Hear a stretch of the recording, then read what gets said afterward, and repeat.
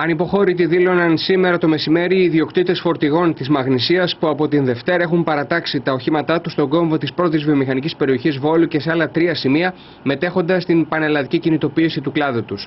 Παρά την απόφαση της κυβέρνησης να επιτάξει τα φορτηγά τους και να επιστρατεύσει τους ίδιους, οι ιδιοκτήτες ξεκαθαρίζουν ότι ο αγώνας συνεχίζεται. Έχουμε βάλει υποθήκη, πληρώνουμε γίζεν, έχουμε δειγμένα γίζεν, έχουμε όλες τις υποχρεώσεις μας απληρώτε, τα ΦΠΑ, όλα τα πάντα.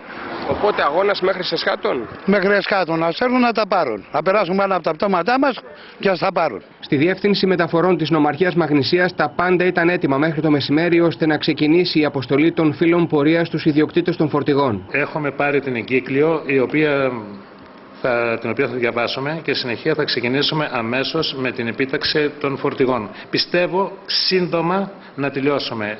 Ε, τα φορτηγά στην ονομά Μαγνησίας είναι περίπου ε, βιτία και φορτηγά είναι περίπου τα χίλια. Έχουμε πολύ δρόμο μπροστά μας και ήδη ξεκινάμε.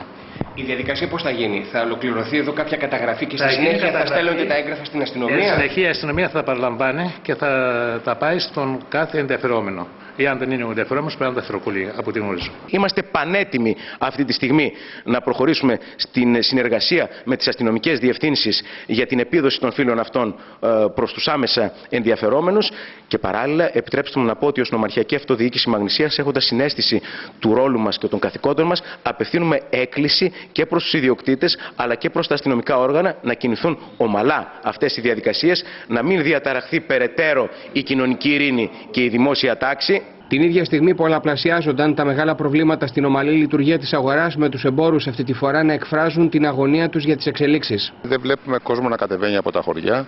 Δεν βλέπουμε ξένους οι οποίοι παραθερίζουν κάπου, κάνουν οικονομία στη βενζίνη για να μπορέσουν να γυρίσουν. Είμαστε πάνω στην καλύτερη περίοδο των εκτόσεων, θα έλεγα. Ε, υπάρχει μια κάμψη αυτές τις μέρες στη δουλειά, μια μείωση του τζίρου, διότι ο κόσμος δεν κατεβαίνει.